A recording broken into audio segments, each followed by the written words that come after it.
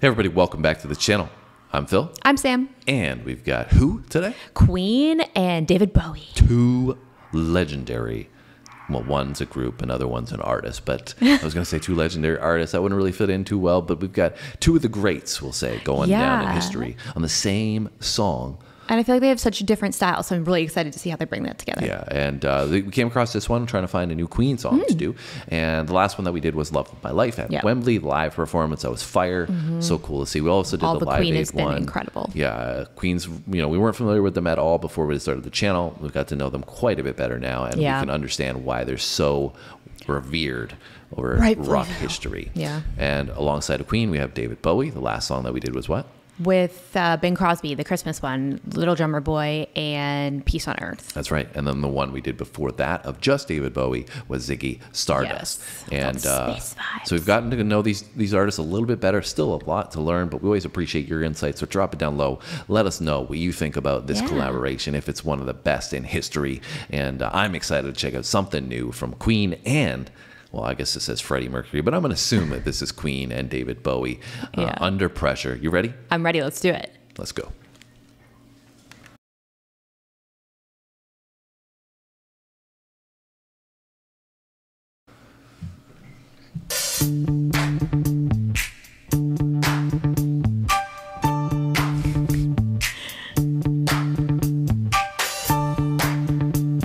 Vanilla Ice. I know. It's that ice, ice, baby. Yeah, um, they must have sampled Sample, that. you must have sampled the bass line, and I don't know what else they would have sampled from here.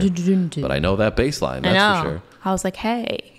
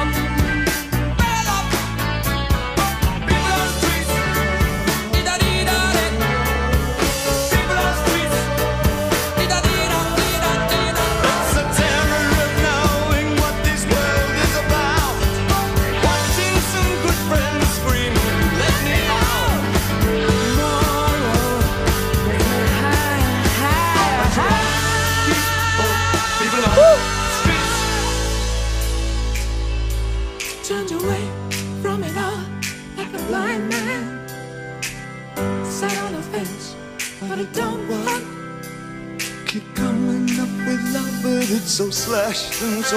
Why? Why?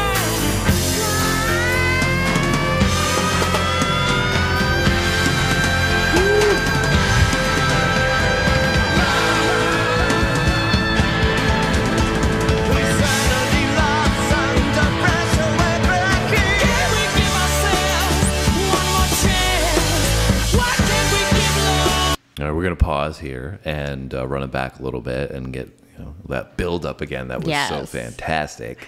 They're And, so good. Yeah. Um, the baseline really, you know, we talked about that in the beginning with the Vanilla Ice reference. And yeah, I see why that song actually became so popular because that bass riff is so fantastic, Mm-hmm. Yes, yeah. and you know really sets the tone amazingly for this song. Um, but I, I obviously feel like this song is way better. Yeah, yeah, for sure. and uh, you know it's the bass line is complemented by their their vocals. It's interesting as well because we talked about in the Bing Crosby David uh, Bowie uh, collaboration there that you know Bing Crosby, his voice was so deep, right, mm-hmm. and you know powerful, and we were saying you know that complemented together really well because David Bowie's came in a little bit higher on the register, Yep. but you can see the opposite is true in this one. Right? David Bowie has the deeper voice, and then Freddie Mercury has the higher voice. and that's what some Yeah. of you guys were saying in the commenters that naturally David Bowie is looked upon that way, but it's a great compliment in this one too. I mean, Mhm. they're Yeah, they playing sound off great. each other so well. Great, 100%. great duet. I mean, you know, the vocals are one thing, the instrumentation is another. That's also fantastic. So Even I- like their stage presence here, I feel like they're just like owning the stage, and it's just like so entertaining as well. Yeah, but I don't think this is together. They're not doing this together. They're split. This is all Oh, spliced. really? Yeah, I don't think they perform this together. Um, I think it's just the way they put the video together. Interesting. Um, I could be wrong. You guys can let us know about. I didn't that, even notice that it was like two different videos. I was like, I was watching like because I'm so engaged with like them singing and like Yeah. you know just watching them. And we have David Bowie wearing, you know, having his style that's a little more uh, representative of what we saw with Bring Bing Crosby Yeah. and Ziggy Stardust. So I don't think we did the video for that one.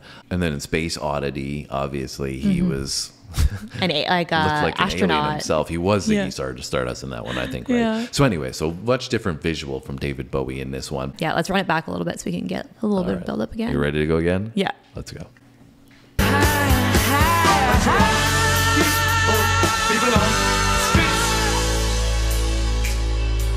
Turned away from it all like a blind man. Sat on a fence, but it don't. Keep coming up with love, but it's so slashed and torn. Why?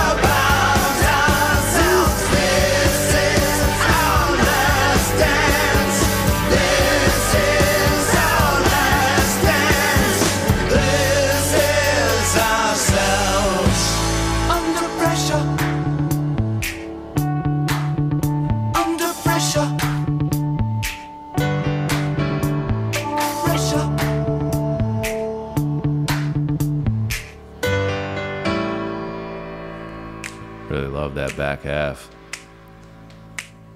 Built the energy perfectly. Yeah, they killed it. We just got a fade out on a clap snap.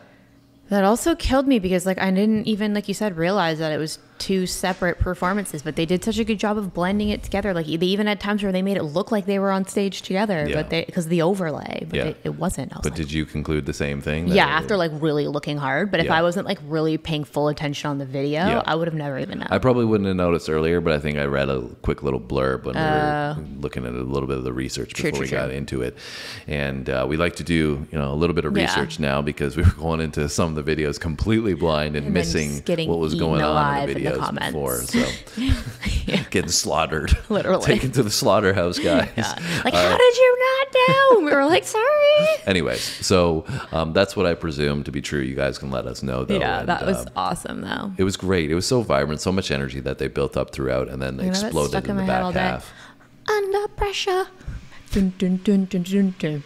Yeah, it's it's very catchy. I could see why this would have done well in the charts. I presume it did as well. Yeah. And um, you know, both of them were just so impressive vocally. I mean, you couldn't, you could, you'd have to listen to it, I think, a few times to really pick up on all the subtleties. Yeah, from both of because them. I think they were using backing vocals Okay. really well, but to mm-hmm. pick up on all of it throughout is going to be difficult. As well, the song messaging, you know, seems very, mm-hmm. very uplifting. It was hard to hear all the lyrics, but talking Yeah. about love and you know belief and and moving forward in the right way, and and that's you know great to hear, right? Kind of the themes of just life, right? The under pressure in life and things happening and persevering and coming through it. Yeah, exactly. Yeah. So uh, really enjoyed this one. Hopefully you guys enjoyed it as well. Sorry for this uh, obnoxious construction. If you can hear it, uh, I can definitely hear it. So we didn't hear it, thankfully, while the great music was playing. Yeah, no, no, so we should just play Queen back along. again. And Yeah. anyways, hopefully you guys enjoyed our reaction. If you did, remember to hit the like button. What else do they have to do before they go, Sam? Make sure that you hit the notification bell so that you do not miss a video because sometimes the algorithm likes to not show videos if you miss one or something. So yeah, that's right. Okay, guys, that's it from us today. We'll be back tomorrow with two more videos. We'll see you then. thanks for watching, guys.